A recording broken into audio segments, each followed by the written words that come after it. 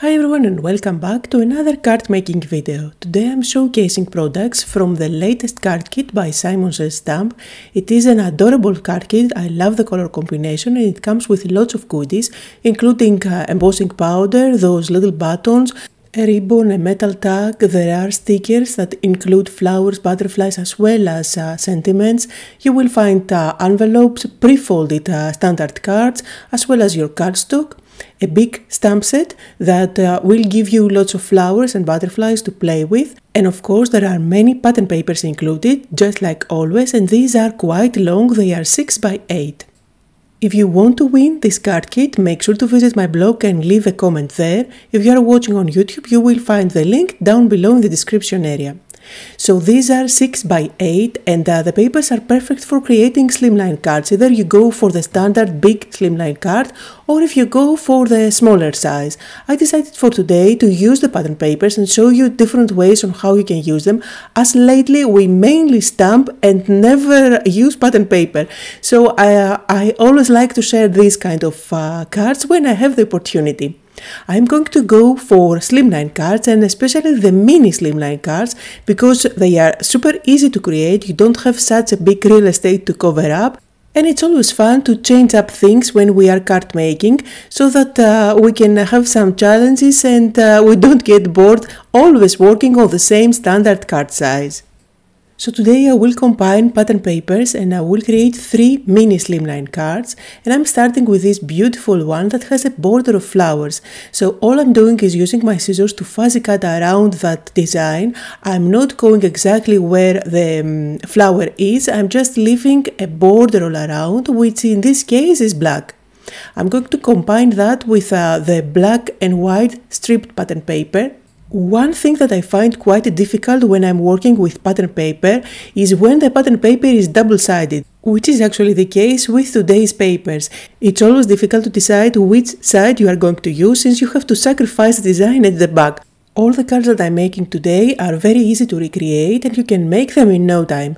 I'm going to use these dies from the latest release by Simon Stamp to cut out my panels, which are perfect for the mini uh, slimline card that I'm going with. It is called mini slimline rectangles, but if you don't have these dies, you can always use your uh, paper trimmer to cut out the panels and the size is 3 and a quarter by 6 and a quarter. Since I do have them, I like to use them for making my life easier and I don't have to do any measurement at all. But again, the size for a slimline card, for a mini slimline card, is 3 and a quarter by 6 and a quarter. If you follow me, you already know that I cannot live without dimension on my card, so I just have to pop that uh, border of flowers on top of the background paper. And in the kit you will find a metal tag, it's one of the Idea-ology by Tim Holtz metal tags that have a sentiment on top. Mine says, your greatest creation is always going to be your life story. And I'm going over it with a white paint marker. You can do that with your gesso, you can do that with uh, white acrylic paint.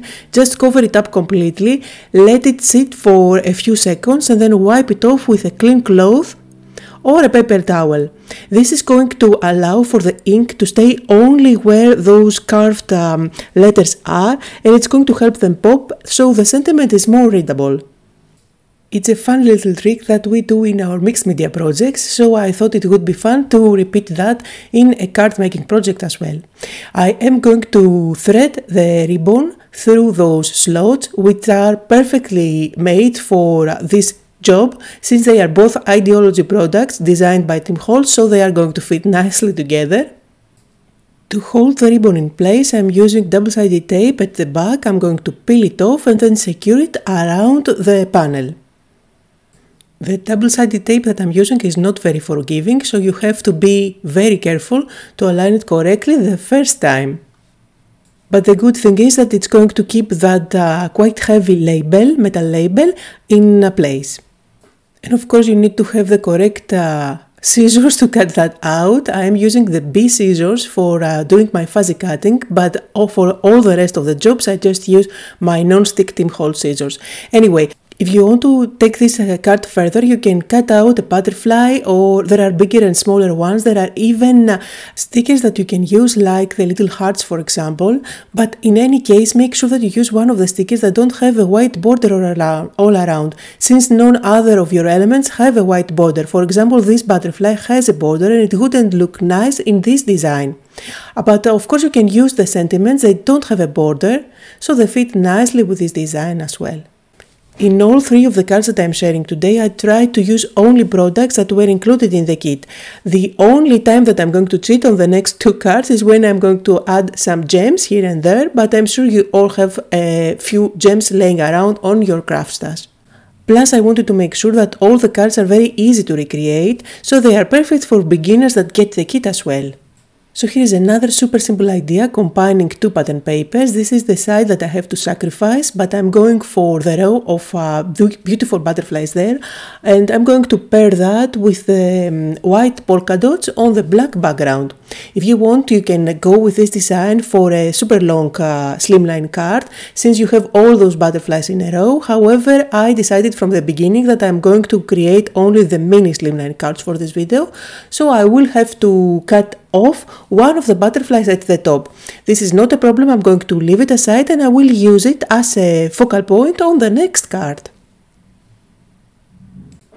When your design is so simple, it's always nice to add some dimension because it adds something extra on your card. But always keep in mind that you don't have to overthink your cards. They can be beautiful even if they are super simple. I like to hold them vertically on my table, this way I know they are perfectly aligned. And now let's move on and look at the, through those stickers to find the sentiment. I'm going to go with a black one.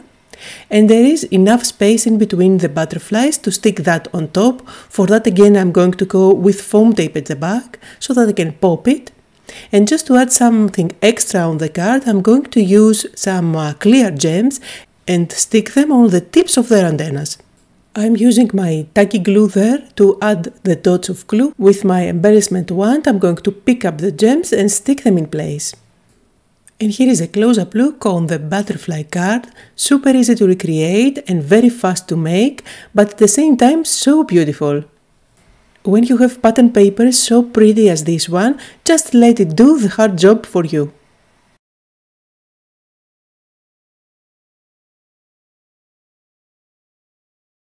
Now here is the leftover butterfly from the previous card and as I was browsing through the pattern papers I found the same design but quite bigger. So I had the idea to cut them out both so that I can stack one on top of the other and create something dimensional. And uh, for this card I'm going for one of those cards where you create a cluster of elements and I decided to go with this uh, newspaper look as my background. So again I'm going to use my mini slimline rectangles to cut out the panels. This is the second largest one and uh, if you want to know the measurements they are two and a half by five and three quarters. I'm also going to fuzzy cut the butterfly and of course for both those butterflies I'm not going to cut out the antennas. Once you place them on your card you can always use some wire to create antennas or just draw them with a fine pen which is what I'm going to do. I'm going to use a very thin strip of foam tape just behind the body of the butterfly and stick the small on top of the larger one. And also just with my fingers I did add some uh, curve on the wings of the smaller butterfly. This is going to give it even more dimension. Now there are many elements included in the kit for creating a cluster card. For that I'm going to use some uh, stickers but I don't want to have that white border around them. That's why I picked a few of those uh, flowers and uh, I'm just going to cut off that white border. It really depends on uh, the design that you are going for. For this design it just didn't work. For example, the butterfly I have doesn't have a border around, so I need to have a consistency throughout all the elements of my card. I place the background paper on top of a slimline panel that's uh, 3 and a quarter by 6 and a quarter and then I'm going to play with different elements and create a cluster. So I'm going to play with a couple of flowers that you see here, a white and a pink one. I also cut out a strip of that pattern paper that has black and uh, white uh, stripes and this is a leftover from the first card that I made. I also picked a couple of sentiments, one black and one uh, pink one to match the color of the flower. And you can see me picking up different elements here, like hearts in different colors and trying to decide where I want them to go. I'm not pressing anything too hard. These stickers are quite forgiving, so you can just lay them on top and move them around. And once you're happy with the placement, then you can press them down and they are going to stay put.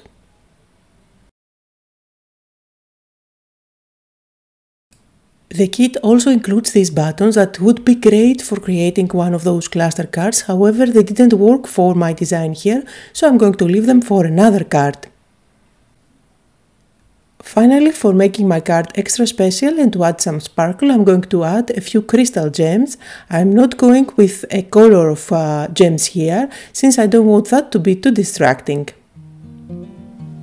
Here is a close-up look on all the three cards that I made for today using products from the Simon Says Stamp card kit. Don't forget there is a giveaway for this card kit on my blog, make sure to visit and leave me a comment there. I hope that you had fun today, that you got inspired. Thank you all so much for visiting today and I'll see you all next time.